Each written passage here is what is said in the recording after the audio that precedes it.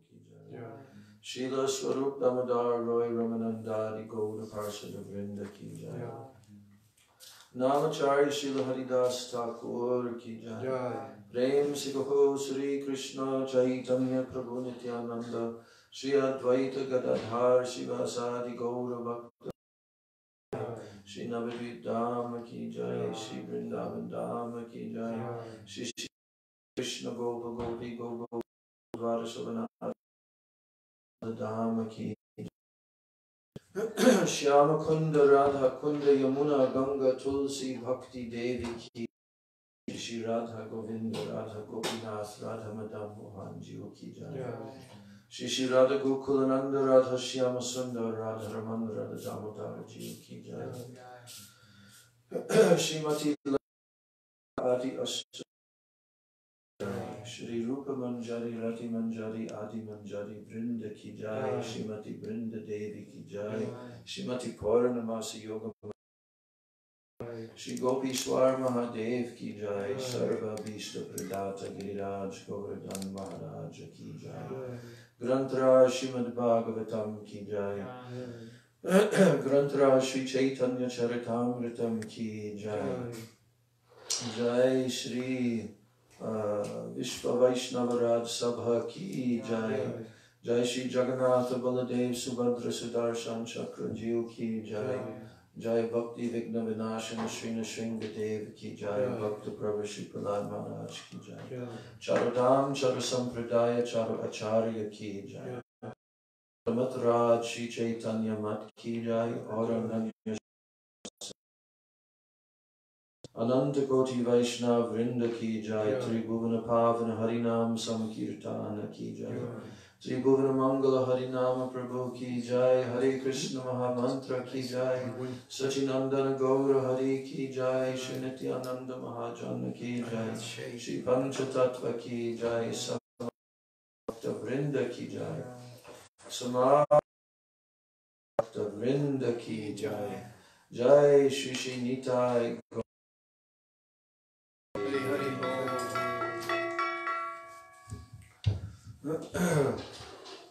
To jest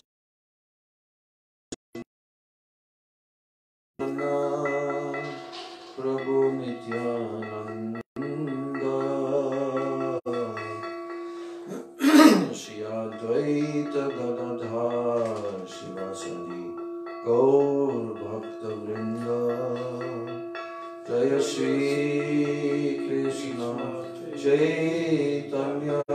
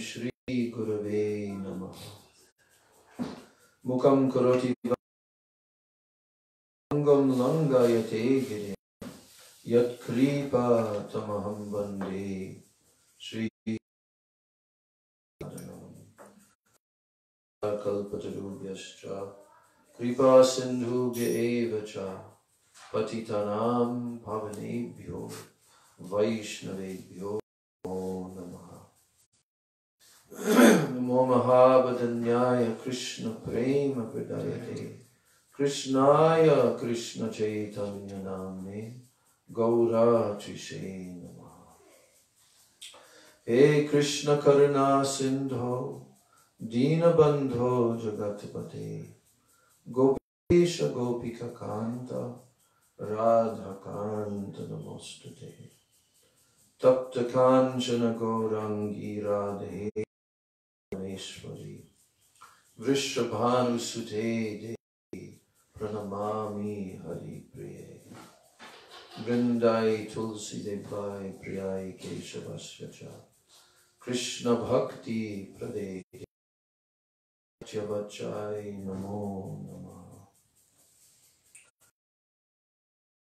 कृष्णं भक्तरूपस्वरूपकं भक्त अवतारं भक्ताख्यं।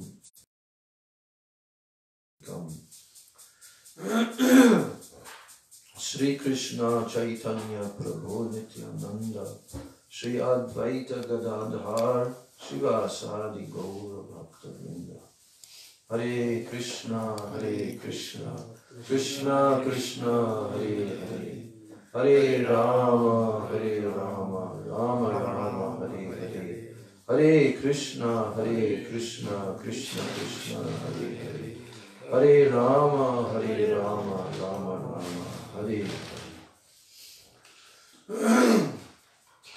And first of all, I'm offering my unlimited Dandavat pranams and my Shraddha Pushpanjali to the lotus feet of my most beloved worshipable Guru Dev Nityalila Pravishta, Om Vishnu Pada Paramahansa Ashtottara Shata Sri Srila bhakti vedanta Swami Maharaj Srila Prabhupada.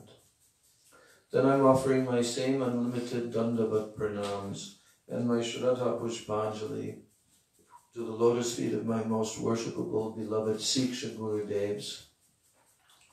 Nitya Lila Pravishtom Vishnu Pada Paramahansa Statarasata Sri Srila Bhakti Rakshak Sri Dhar Goswami Maharaj. And Nitya Lila Paramahansa Bhakti Goswami My Danda the lotus feet Sri Rupa Nuga Guru Varga and pronounced to all the Vaishnavas and all the Vaishnavis. So yesterday we completed the topic that we were discussing for, and that was the introduction to Srila Bhaktivedanta Narayan Goswami Maharaj's publication of the Venu chapter 21. And in that discussion, we kind of, because we had discussed that on the before yesterday, and then yesterday we completed the discussion. And the topic was an in-depth analysis of the Siddhanta. What is the Siddhanta of our Gaudiya Vaishnava Acharyas in the line of Srila Rupa Goswami regarding the subject matter of hearing the pastimes of Bhagavan Swayam Sri Krishna, uh, which is de- depicted and described in detail in the Srimad Bhagavatam 10th canto, and particularly his pastimes with the Braja Gopis of Vrindavan. Srila Gurudev addressed a particular topic of who is qualified to hear these transcendental pastimes of the Krishna. And have a certain opinion about hearing those pastimes without first of all having purified the anarthas within the heart.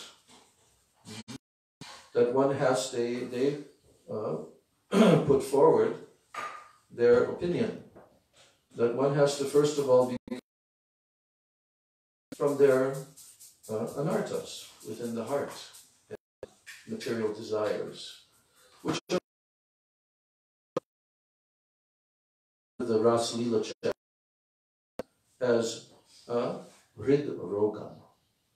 Hrid Roga, the disease in the form of Kam, Krodh, Lobha, Moha, Mada, Matsarya. Kam means material, lusty desires to enjoy sense gratification. Krodha, anger. Kam, Krodh, Lobha, greed. Uh, intoxication. Hmm. Moha, illusion. Matsarya, envy. So these contaminations are in the hearts of the conditioned souls. That's why they're here in the material world. Have come here to try to have a separate existence from their eternal constitutional position of serving of God and Sri Krishna. So they've come here into this world, and therefore, Maya Devi, Krishna's external energy, has covered the conditioned soul with two types of bodies made of material elements. gross material body, uh, made of earth, water, fire, air, ether. That is this physical body, which we change lifetime after lifetime after lifetime. Clothing. Then there is the changing, it is the same subtle body made of mana, buddhi, ahankar, of mind, intelligence, and false ego. So these two into the conditioned souls to enable them to exercise their free will. Because Krishna never takes away the free will of the living entity. If Krishna were to take away the free will of the living entity, there would be no possibility of the living Krishna praying, transcendental love. There'd be no possibility. Why? Because love is given freely from one's own desire, from one's own initiative. It is the purest sense any living being can experience is love. and love is selfless. In the transcendental realm, uh, it is completely free and devoid of any personal uh, aggrandizement, any personal desire to enjoy one's own senses separately from Krishna. So that great science of transcendental loving devotion, bhakti, and the effect of bhakti. When one engages in pure bhakti, then that what is attained is the experience, the astonishing experience, the rasa, tasting the divine ecstatic exchanges with Krishna. This topic was taught directly by Sri Chaitanya Mahaprabhu to his dearmost servitor, Srila Rupa Goswami, who actually fulfilled Chaitanya Mahaprabhu's desire. You know, we have one pranam mantra for Rupa Goswami mm, that we say for glorifying and offering our obeisances to Rupa Goswami. This pranam mantra was written by Das Thakur. So what is that mantra? Anyone here knows? But anyone here knows? Yes? Mm-hmm. The meaning? From my soul, they present to Sri Rupa Goswami, me with guilt, desire, Lord Chaitanya. To I got the rest. How did he fulfill? By writing the script- scriptures. Stapitam yena bhutale. Stapitam means to establish, and yena bhutale means within this world. Sri Chaitanya Mano Bishtam. What was the internal heart's desire of Sri Chaitanya Mahaprabhu? Why did he descend into this world? What did he want to fulfill? Huh? What did he What did he want to give to the in this world? So that internal mana abhishta, that internal heart's desire of Sri Chaitanya Mahaprabhu was fulfilled by Guru. That's why Narottam Das Thakur has written this pranam mantra to declare that fact. Sri Chaitanya Manobhishtam Stapitam Yena Bhutale, by whom his internal heart's desire was fulfilled by his establishing within this world his mission. Hmm? Swayam Rupa Kada Mahyam Dadati Sva Padantikam. What does that mean? Swayam Rupa Kada Mahyam. When will that Rupa Goswami uh, bestow upon me his mercy? Kadamayam Dadati Sva Padantikam. And give me the shelter of his lotus feet. This is the mission uh, of the acharyas who are following Sri Chaitanya Mahaprabhu. And topmost in our line, uh, Rupa Goswami, who has that specific quality recognized and acknowledged by all.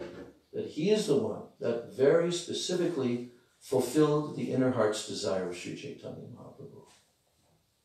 Can we say that Sanatan Goswami, the other six Goswamis, did they also fulfill Mahaprabhu's inner heart's desire? Huh? What about them? Did they not write literatures? Did Sanatan Goswami not write Brihad the first book written by any of the Goswamis? Did they not also establish temples?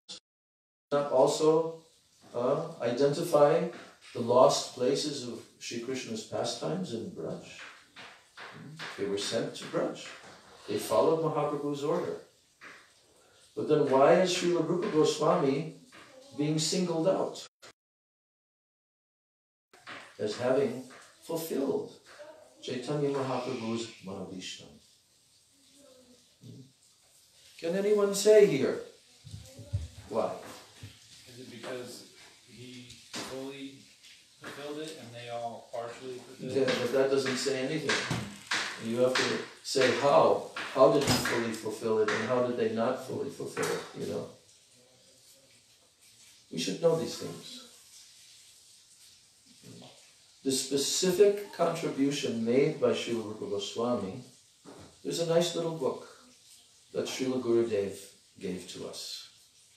The specific contribution of Rupa Goswami. Hmm? And if you read that book, then you can understand elaborately what is the speciality of Rupa Goswami. Why, why is that important for us? Hmm? Why is important for us?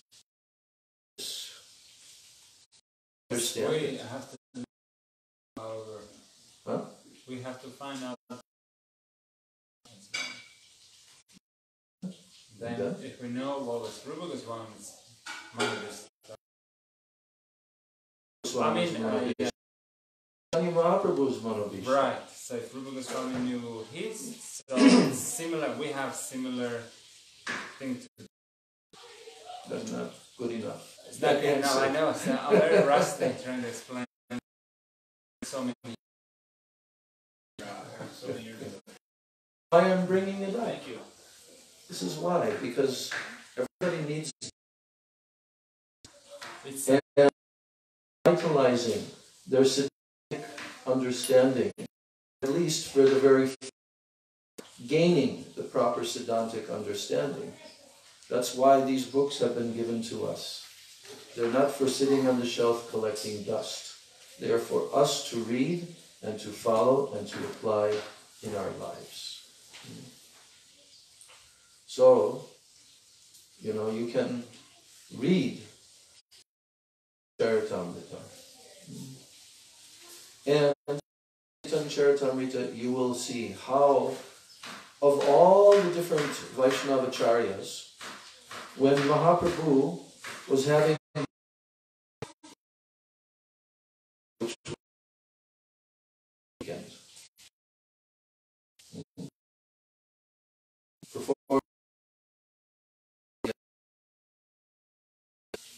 and there was a young Vaishnava there who had come to Jagannath Puri.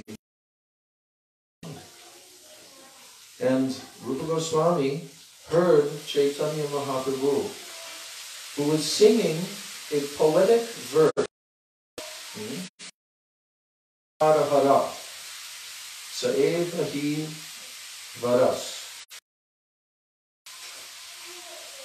That verse was a verse about uh, a mundane relationship and her lover when she was very young, and she is remembering that oh, that time on the bank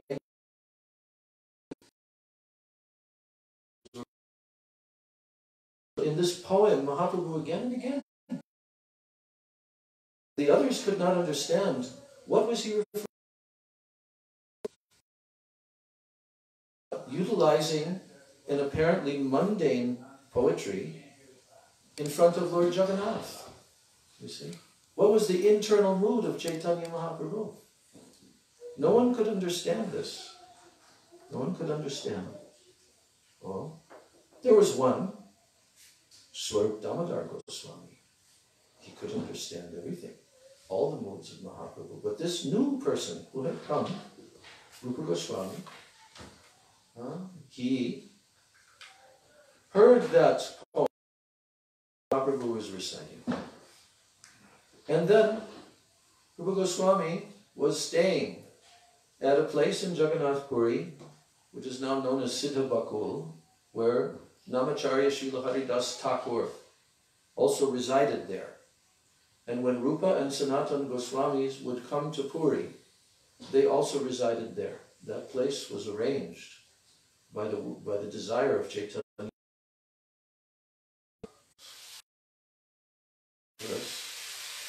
And after writing that verse, he took the verse on a palm and he put it in the thatched roof just for keeping. And he went to the ocean to bathe. That time, while he was gone to the ocean, then Mahaprabhu came there because he would actually come to see. Rupa Goswami was also there at the time. He also came to see him. He noticed when he came to the little hut that Rupa Goswami was staying in, he, his eyes caught this palm leaf that was stuck into the thatched roof. And he took it and he pulled it out. He began to read it. He began to read uh, this palm leaf. And the verse, Chaitanya Mahaprabhu was overwhelmed when he was reading this verse. And at, just at that time, Mahaprabhu, uh, Rupa Goswami returned there from bathing in the ocean. And then uh, Mahaprabhu looked at him and he paid his obeisances to Mahaprabhu. Then Mahaprabhu looked at him And he came to him, and in a mild way he slapped his cheek. He said, How you could have known my heart? How did you know my heart? What you have written here. And what was Mahaprabhu's meditation? The verse that was written by Rupa Goswami was speaking about how Srimati meeting Krishna at Kurukshetra. In the tenth canto is described after many, many years. All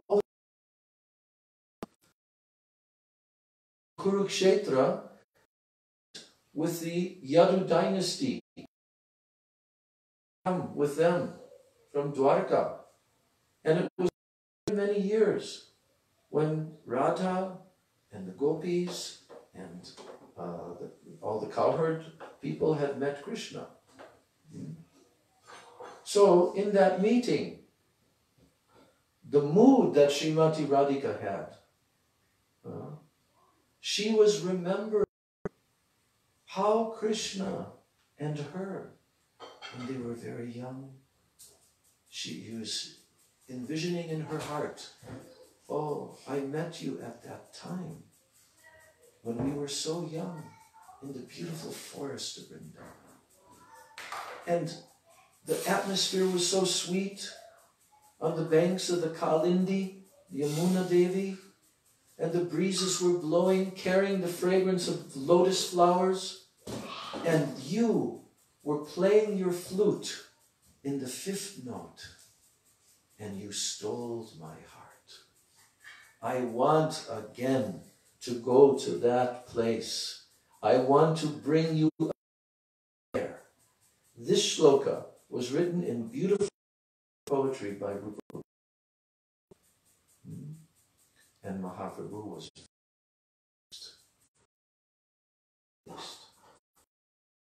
that. The next hmm? Chaitanya Mahaprabhu came there to that residence where Haridas Thakur was. And he brought with him a number of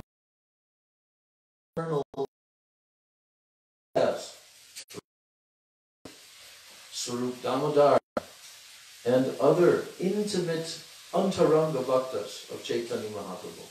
They came there.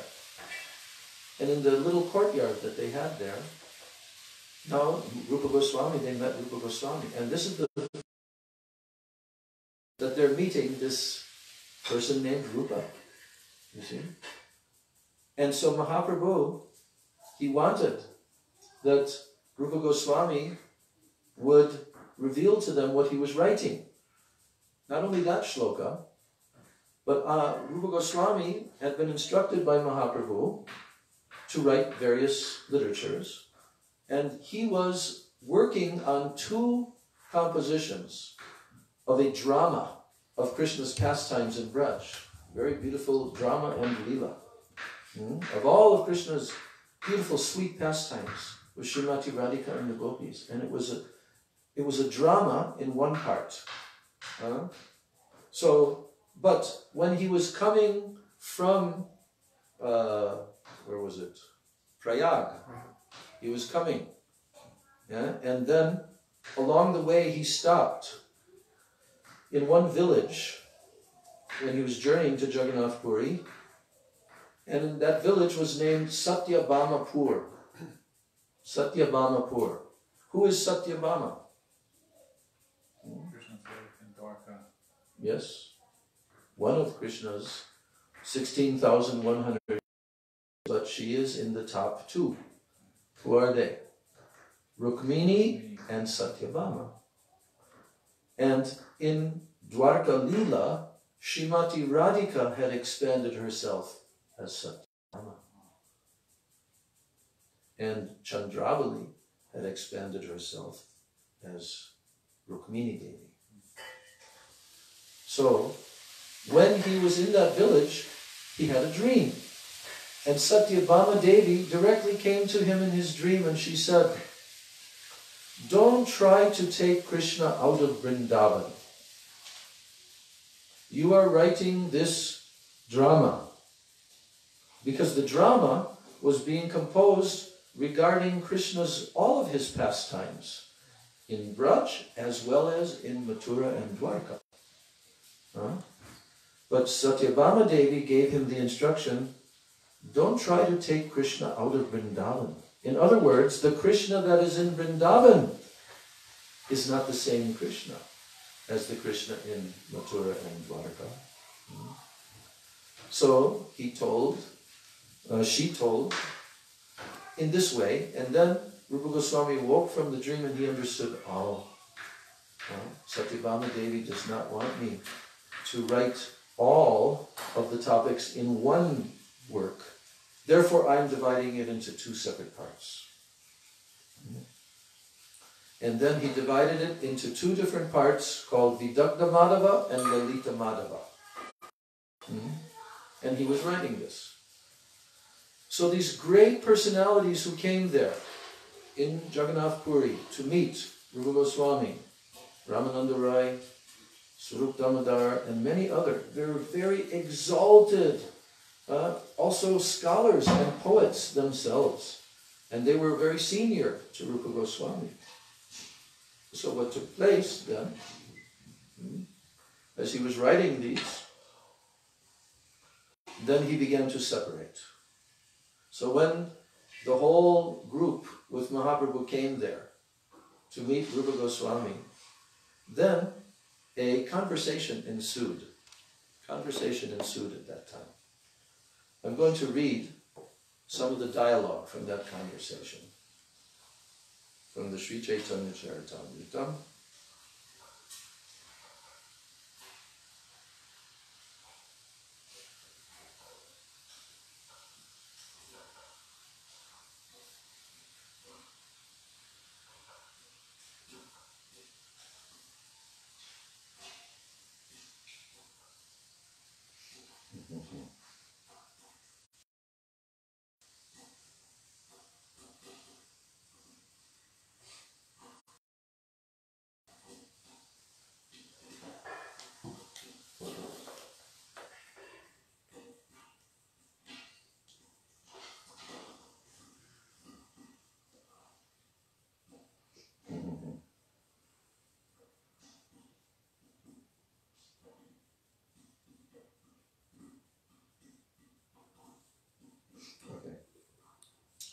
So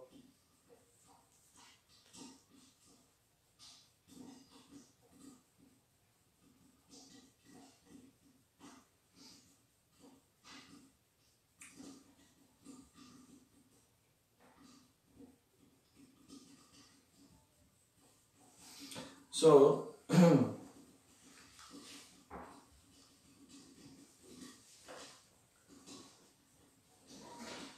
on the next day, Chaitanya Mahaprabhu again met Rupa Goswami. And with great mercy, the Lord introduced him to all the devotees. Sri Rupa Goswami offered his respectful obeisances unto the lotus feet of all the devotees. And then those devotees, by their mercy, they embraced him. Sri Chaitanya Mahaprabhu told Advaita Acharya and Nityananda Prabhu, you should both shower your mercy wholeheartedly to Rupa Goswami. May Rupa Goswami, by your mercy, be able to mellows service. What is that? It means Krishna Rasa Bhakti, the transcendental mellows of Krishna Bhakti, Rasa.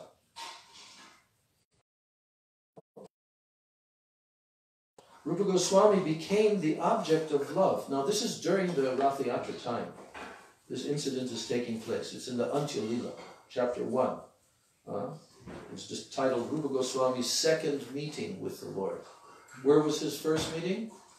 In Prayag, when Chaitanya Mahaprabhu empowered him and spoke to him for 10 days in Prayag. So, Thus, Rupa Goswami became the object of love and, the, and affection for all the devotees who came from Bengal and those who resided in Orissa. Every day, Sri Chaitanya Mahaprabhu would go to see Rupa Goswami. And whatever prashadam that he received from the temple, Jagannath prashadam, he would deliver to Rupa Goswami and to Haridas Thakur. he would talk for some time with both of them, and then he would leave to perform his noontime duties.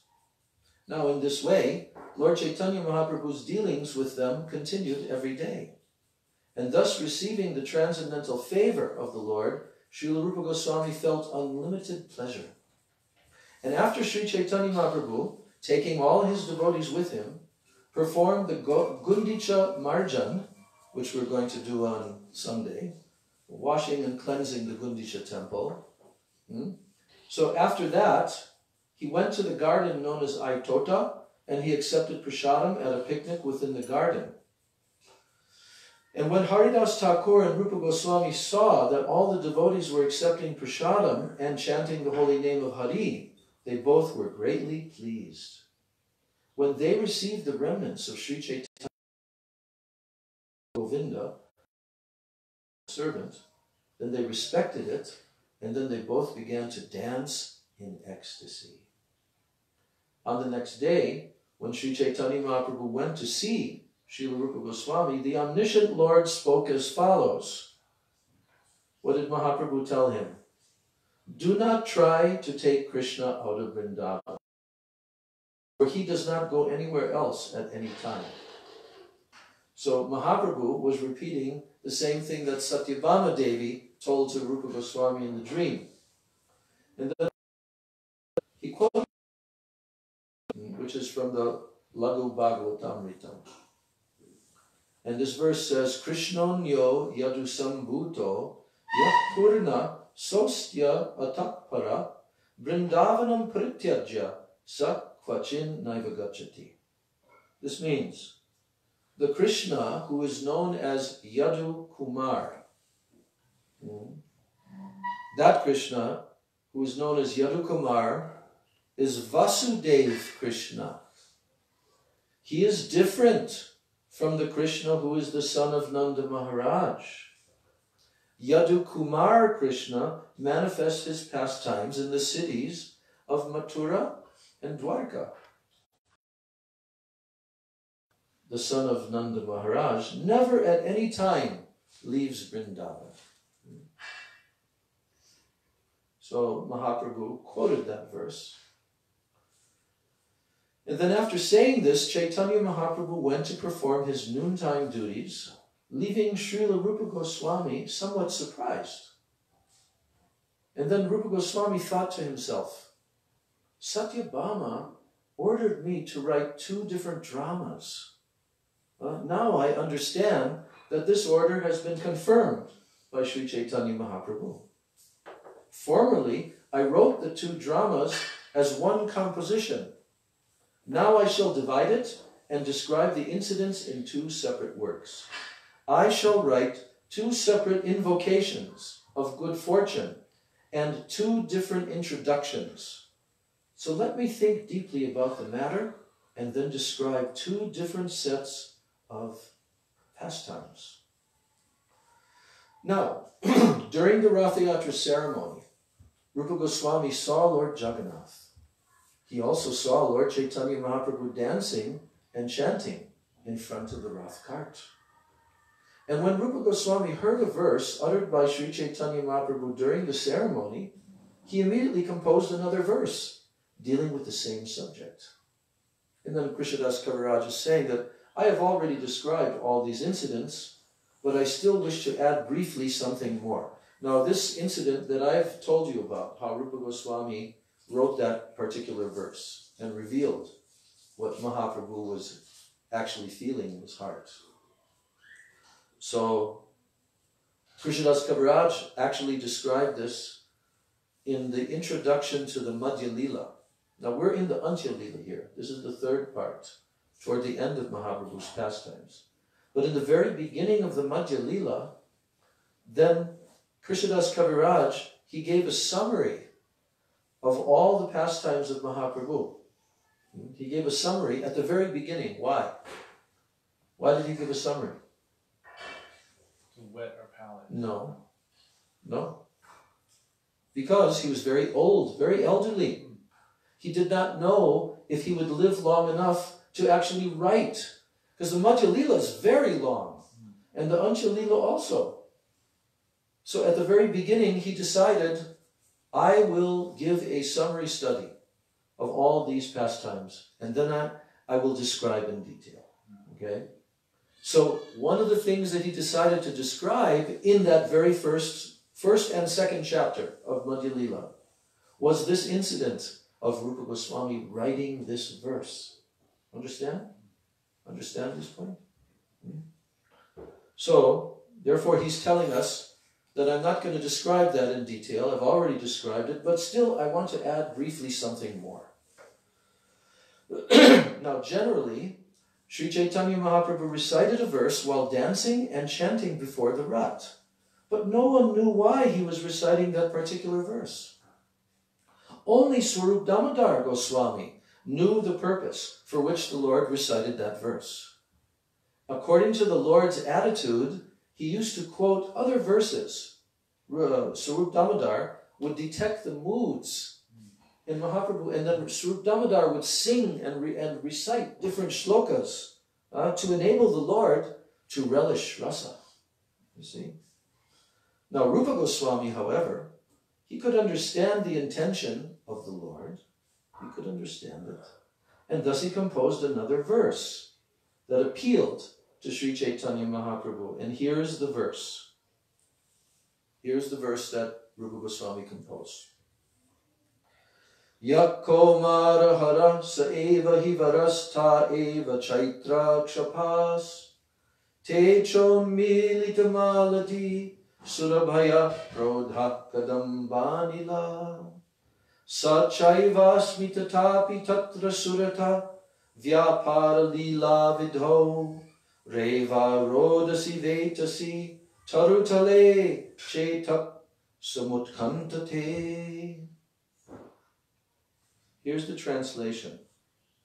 That very personality who stole my heart during my youth, he is now again my master. So who's speaking this? Radharani, who is seeing Krishna at Dwarka, uh, at Kurukshetra.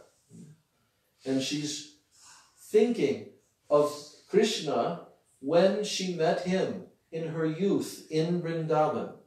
So he, now She's not in Vrindavan. She's where? In this ba- battlefield of Kurukshetra. This is before the Kurukshetra battle. Huh? But that was a place of pilgrimage. And because there was going to be a solar eclipse, so all the Yadu dynasty came there, and all the Brijbasis who are part of the Yadu dynasty, they also came there. They're all related. Hmm? And that's where the gopis and Shrimati Radhika and Mother Yashoda and Nandamar, that's where they saw Krishna again. But the moods of Srimati Radhika, when she saw Krishna there, and that's elaborately explained in the Madhya Lila and also in the Antya Lila, Srimati Radhika was not satisfied. And she's expressing that here. So she's saying here that, yeah, Though this is actually the verse that Mahaprabhu recited. Sorry. This is the verse that Mahaprabhu recited, which was indicating how Srimati Radhika was feeling. Because why? Because Radhika, her moods, her bhavs, have been completely uh, taken by Sri Chaitanya Mahaprabhu. He is not feeling that he is Krishna. Hmm? Although he's Krishna, but now he's completely covered by the bhavs and the golden color of Shrimati Radhika. Hmm? Bhav and Kanti. Kanti means her golden color. So this is the verse that Mahaprabhu again and again, when he's seeing Jagannath on the he's reciting this verse, Yakomara hara saeva hivaras. So, she, so he's speaking from a mundane poetry, hmm, and there's a lady who's expressing that that very same personality who stole my heart during my youth is now again my master. Oh, these are the same moonlit nights of the month of Chaitra, The same fragrance of malati flowers is there, and the same sweet breezes are blowing from the Kadamba forest. In our intimate relationship, I am also the same lover, yet still my mind is not happy here. I am eager to go back to that place on the bank of the Reva under the Vetasi tree. That is my desire. So, then Rupa Goswami wrote the following verse, based upon the mood and sentiment that Mahaprabhu was expressing, which was a mundane relationship between a young girl and a young boy when they were young. I like that. And how her heart was stolen. Now later she's grown up, she's married, and like this, but she's remembering that. So Srila Rupa Goswami, and nobody could understand. Only Swarup Damodar could understand when Mahaprabhu was reciting this. But then Rupa Goswami, he penetrated and understood the meaning of it, and he wrote the following verse. Priyasoyam Krishna Sahachari Kurukshetra Militas Tataham Saradha Tad Idam Ubayo Sangama Sukam Tatapyanta Kelan Madhura Murali Panchamajushe Manome Kalindi Pulina Vipinaya Sprihayati. Now here's what Srimati Radhika is saying as written by Rupa Goswami. My dear friend, now I have met my very old and dear friend Krishna on this field of Kurukshetra.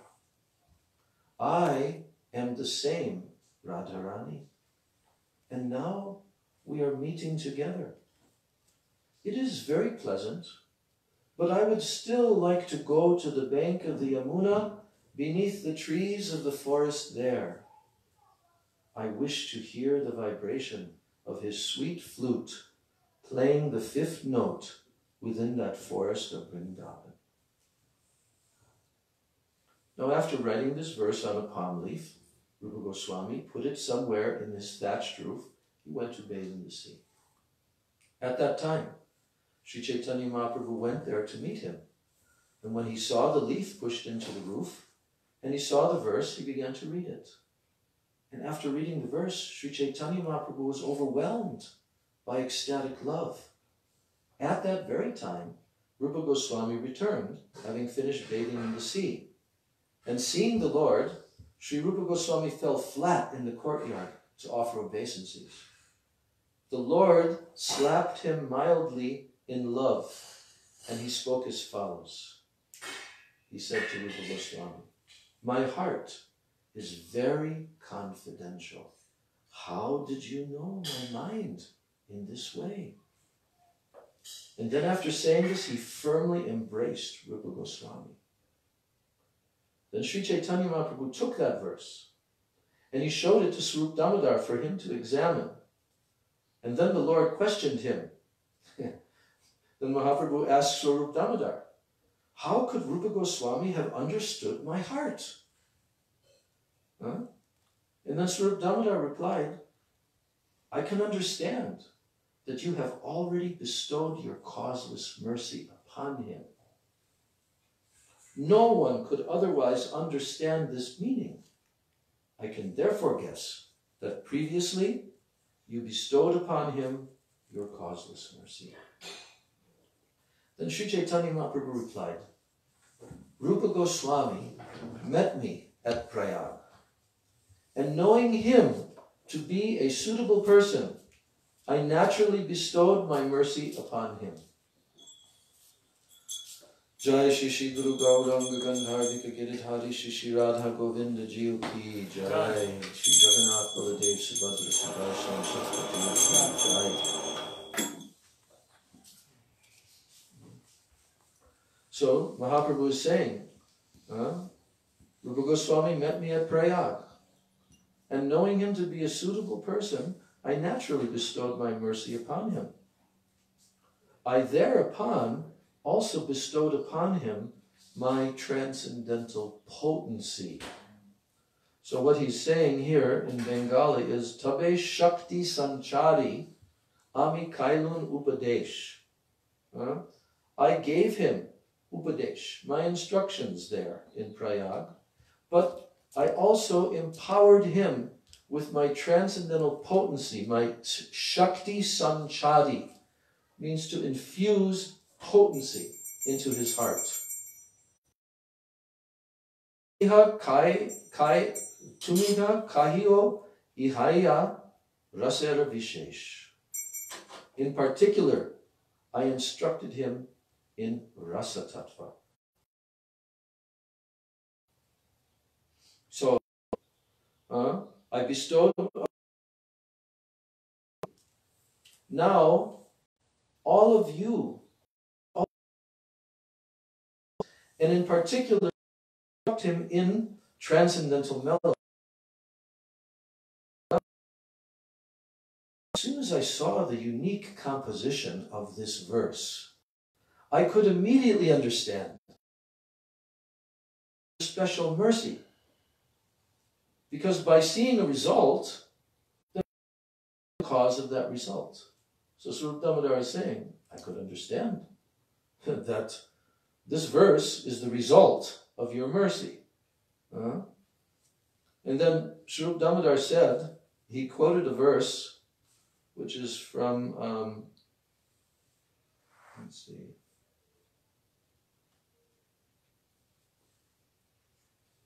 Oh, yeah. anyway. So anyway, he quoted this very beautiful Sanskrit verse, uh, Swarup Damodar Goswami. He quoted this verse. Svarba paga hema mrina lini nam. Nana mrina lagra bhujo bhajamaha. Annanurupam tanurupa ridhim karyam nidanad di gunan adite. This means the river Ganges, flowing in the planets, is full of golden lotus flowers.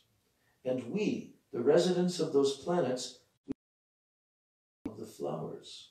And thus we are very beautiful, more so this is due to the laws of law of cause and effect. Of goodness, the mode of goodness increases the beauty of his body. So why is Swarup Damodar Goswami quoting such a verse where the residents of the heavenly planets are talking about how by eating these beautiful golden lotus flower stems there, that their own bodies have become so beautiful. Why is Swarup Damodar mentioning this?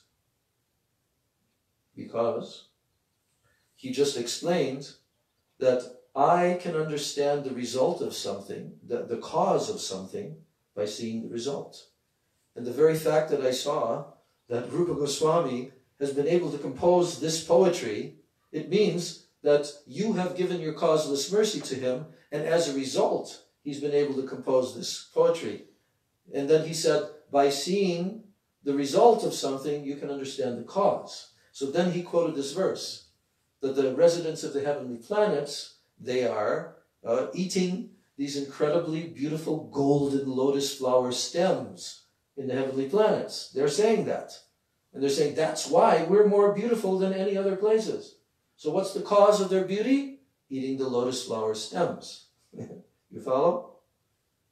Now, after the after the four months of the Chaturmasya, uh, you know, because all the devotees from Bengal, they would come every year.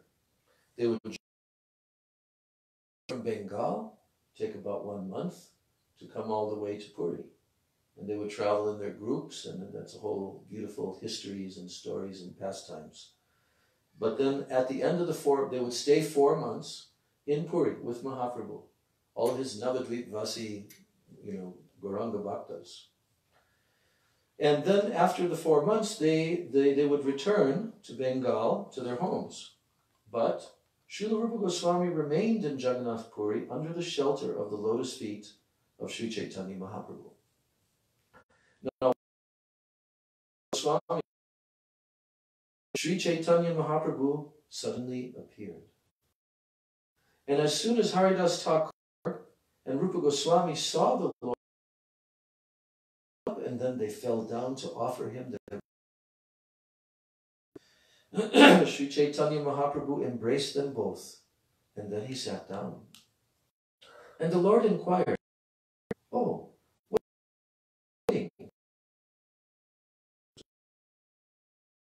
held up a palm leaf. Was a page of the uh, of that. And when he saw Goswami, his mind was very pleased. Thus, the praised the writing by saying, The handwriting of Rupa Goswami is just like rows of. And while reading the manuscript, Sri Chaitanya Mahaprabhu saw a verse on that page. And as soon as he read it, he was over. Huh? Rupa Goswami wrote, this verse now was recited. And Mahaprabhu didn't come there alone. You'll, you'll hear that. He came with the, the and so when he read this verse, I'll first of all read the translation so you can understand what the verse is about. Rupa Goswami is writing, I do not know how much nectar produced. When the holy name of Krishna is chanted, it appears to dance within my mouth. Of the mind, and therefore all the senses become inert. I do not know how much nectar the two syllables Krishna have produced. Hmm. So Prabhupada is saying that this verse is included in the Madhava, a seven-act play written by Rupa Goswami describing Krishna's pastimes in Vrindavan. Here's the verse. Tunde tandavani ratam vitanute, tundavali labdaye, karna kroda kadambani gatayate, karnar budebhyah spriham, chetak prangana sangani vijayate, sarvendriyanam kritim, no jane janita kiyadbir, amritai, krishneti, varna dvai. So when Sri Chaitanya Mahaprabhu chanted this verse, Haridas Thakur, upon hearing the vibration, he became jubilant and he began to dance while praising its meaning. Why? Because Haridas Thakur is Nam Acharya. He's absorbed in Harinam, and when he heard this glorification of the two syllables of the name Krishna, he became so overwhelmed and ecstatic he began dancing. So then, uh, it's told here, he, uh, Haridas Thakur began to praise the meaning.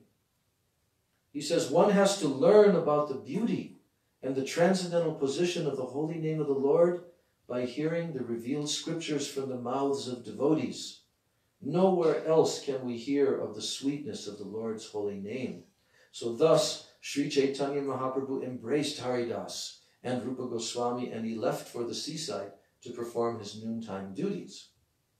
And on the next day, after visiting the temple of Jagannath as usual, Sri Chaitanya Mahaprabhu met Sarvabhauma Bhattacharya and Ramananda Roy and Srila Rupa Goswami. On the way, the Lord greatly praised his what this is the history of Rupa Goswami, Chaitanya Mahaprabhu in January, met him in,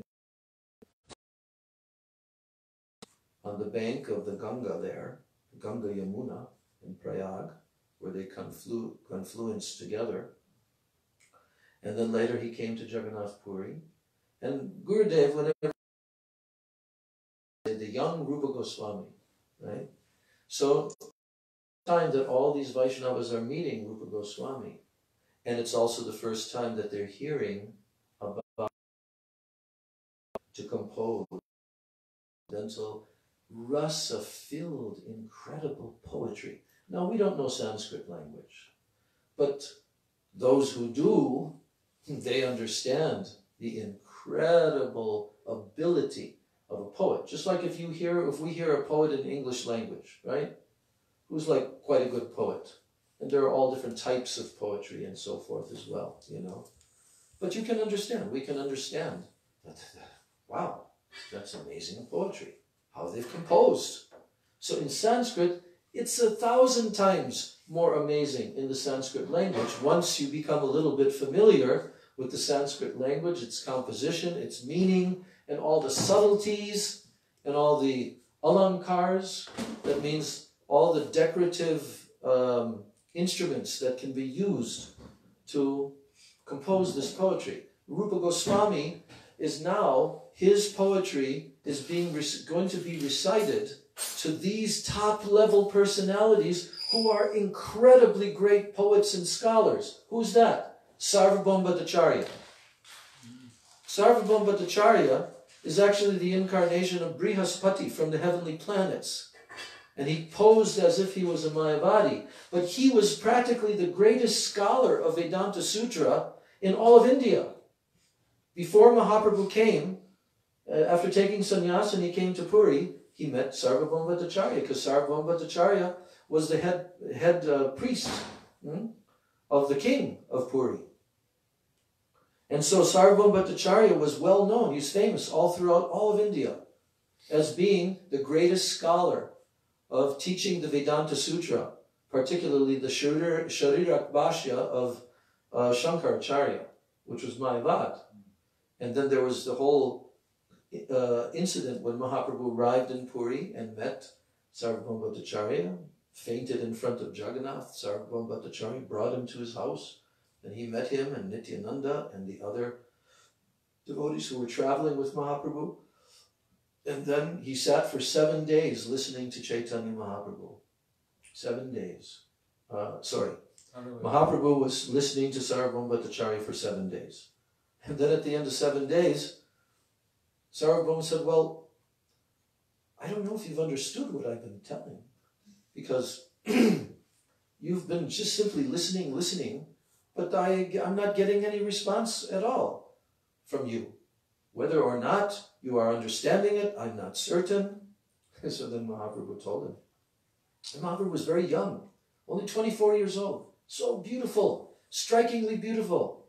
Uh, and he was also a relative. There was a village relationship between uh, Lord Chaitanya's maternal grandfather uh, and Sarvabhauma Bhattacharya, because Sarvabhauma was also born in Navadvip. But he left the Navadvip to come to Puri as a pastime. And he posed as if he was a Mayavadi. This is the pastime of the Lord. And then when Chaitanya Mahaprabhu came, he felt so much affection for him. He says, You are very young sannyasi and so beautiful. It would be very difficult for you to keep your sannyas vows. I will teach you Vedanta. This very powerful that. I would be very pleased to hear from you. You're such a great, elevated personality and scholar. So then after seven days, he said, I don't know, you haven't mentioned, mentioned anything, whether you're understanding. And then, uh, and then uh, Mahaprabhu told him, actually, I've understood everything that you said.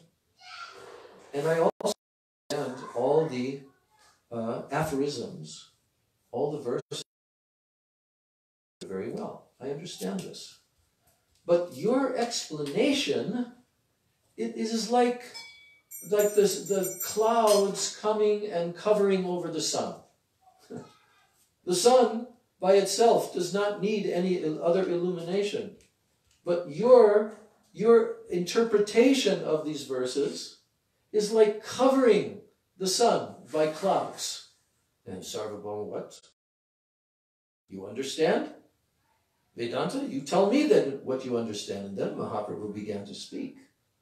And Sarvabhauma, and there were others there also in that assembly.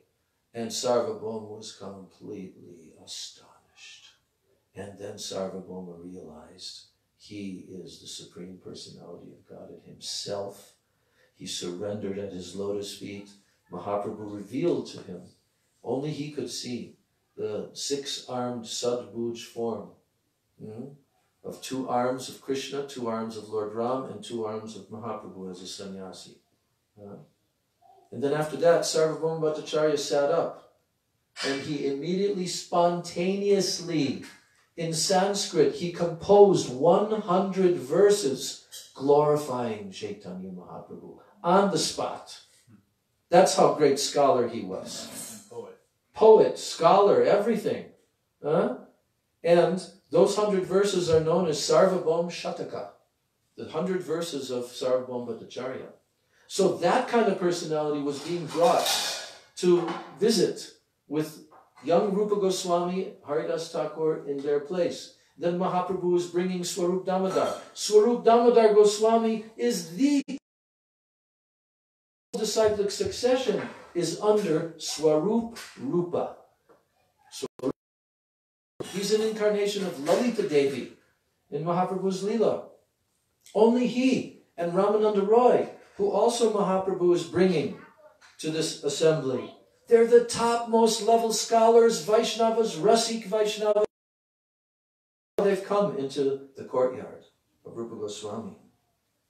So, when when Mahaprabhu recited the two important verses, he felt very great pleasure. And thus, as if he had five mouths, he began to praise his devotee. And just to examine Sarvabhauma and Ramananda Roy, the Lord began to praise the transcendental qualities of Sri Rupa Goswami in front of them. Now, characteristically, the Supreme Personality of Godhead does not take seriously an offense that is committed by a pure devotee. The Lord accepts whatever small service a devotee renders as being such a great service that he is prepared to give even himself what to speak of other benedictions. This is what Mahaprabhu is telling. Then he says, then Mahaprabhu said, the Supreme Personality of God, he quoted a verse from Bhagavatam, the Supreme Personality of Godhead, who is known as Purushottam, the greatest of all persons. He has a pure mind. He is so gentle that even if his servant is implicated in a great offense, he does not take it very seriously. Indeed, if his servant renders some small service, the Lord accepts it as being very great. And even if an envious person blasphemes the Lord, the Lord never manifests anger against him. Such are his great qualities. Now, when Haridas Thakur and Rupa Goswami saw that Sri Chaitanya Mahaprabhu had come with his intimate devotees, they both immediately fell down like logs and they offered prayers to their lotus feet. Thus, Sri Chaitanya Mahaprabhu and his personal devotees. The Lord then sat down in an elevated place with his devotees. And Rupa Goswami and Haridas Thakur sat at the foot of the elevated place where Sri Chaitanya Mahaprabhu was sitting.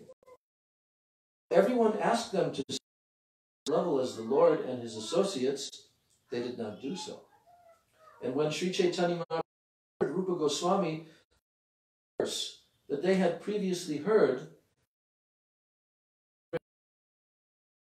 but instead he remained silent, because you can imagine, he's sitting in front of these elevated personalities. And he's a little hesitant, a little bit shy to read his own poetry. Huh? Then, instead of Rupa reciting it, Swarup Damodar Goswami recited the verse, and when all the devotees heard it, their minds were struck with wonder. And then after hearing this verse, Ramananda Roy and Sarvabhauma Bhattacharya, they said to Chaitanya Mahaprabhu, without your special mercy, how could this Rupa Goswami have understood your mind. Srila Ramananda Roy said that previously Sri Chaitanya Mahaprabhu had empowered his heart so that he could express elevated and conclusive statements to which even Lord Brahma had no access. So Ramananda Roy is saying, yes, I also had this experience, that Mahaprabhu empowered me to speak all these things. And then he said, had you not previously bestowed your mercy on him, all of them said this to Mahaprabhu, it would not have been possible for him to express your internal feelings. And then Chaitanya Mahaprabhu said, My dear Rupa, please recite that verse from your drama, which upon being heard makes all people's unhappiness and lamentation go away. And when the Lord persisted in asking this again and again, then Rupa Goswami. And what is that verse? The one we just read about I don't know how much nectar is in the two syllables of Krishna. So then Rupa Goswami recited that. And when all the devotees of Sri Chaitanya, especially Sri Ramananda Roy, they were all in bliss and struck with wonder. Everyone admitted that although they had heard many statements glorifying the holy name of the Lord, they had never heard such sweet descriptions as those of Rupa Goswami. Then Ramananda Roy inquired, What kind of drama are you writing? We can understand that it is the mine of conclusive statements. Swarup Damodar replied for Srila Rupa Goswami on his behalf. Swarup Damodar said, he wanted to compose a drama about the pastimes of Lord Krishna. He planned to describe in one book both the pastimes of Vrindavan and those of Dwarka and Mathura. And he began it in that way, but now, following the order of Sri Chaitanya Mahaprabhu, he has divided it in two, and he is writing two plays, one concerning the pastimes of Mathura and Dwarka, and the other concerning the pastimes of Vrindavan. The two plays are called Vidagdha Madhava and Lalita Madhava. Both of them describe ecstatic emotional love of God. And then Ramananda Roy said, Oh, Rupa, please recite the introductory verse of the Vidagdha Madhava so that I can hear and examine it. And thus, Rupa Goswami, being ordered by Sri Chaitanya Mahaprabhu, recited the verse. So we've run out of time. This goes on, and I'm going to continue after this weekend because starting tomorrow we're going to be uh, discussing Srila Bhakti Vinod Thakur because it is his disappearance day and also Sri Gadadhar Pandit, the incarnation of Srimati Radhika. Both disappeared on this day, which is two days before the Ratha Yatra. So tomorrow we'll be discussing that in the morning time at 11 o'clock in the morning. And then at noontime, at one o'clock, there will be the artik and also a feast being prepared tomorrow by the devotees. Then uh, we won't have the evening class tomorrow. We'll have that midday class, and then the next day on Sunday is the the very day in Jagannath Puri where Mahaprabhu every day before the Rath Yatra, on the day before, he would go with all of his bhaktas and they would do what? Gundicha Marjan means cleansing the Gundicha temple for Lord Jagannath. And that pastime is just completely amazing. So what the devotees have decided to do is that they're actually uh, in the morning, the late morning, they're going to all, all unitedly, they're going to do a huge cleanup, maha cleanup. I don't know where and what and all of that, but they they want to do that in memory of the Gundicha Marjan, and then there will be the noon artik and the feast. There will also be a feast on that day. And then in the evening, we're going to discuss that pastime in detail from Chaitanya Charitamrita. So then the following day, that's on Sunday, and then the following day on Monday is the Rath Yatra festival day in Jagannath Puri. So that Rath Yatra festival day, this year is the first time in 200 years that Lord Jagannath is not coming out from the temple and sitting on his Rath and having his 10-day festival, which is a complete shame. But at any any rate, everything goes on under his supreme will. So we're going to we're going to discuss in the morning class on that day, on Monday, from 11 till 1. Then we're going to discuss the Ratha Yatra Katha. So three, and, and then there's also a feast on that day, after that.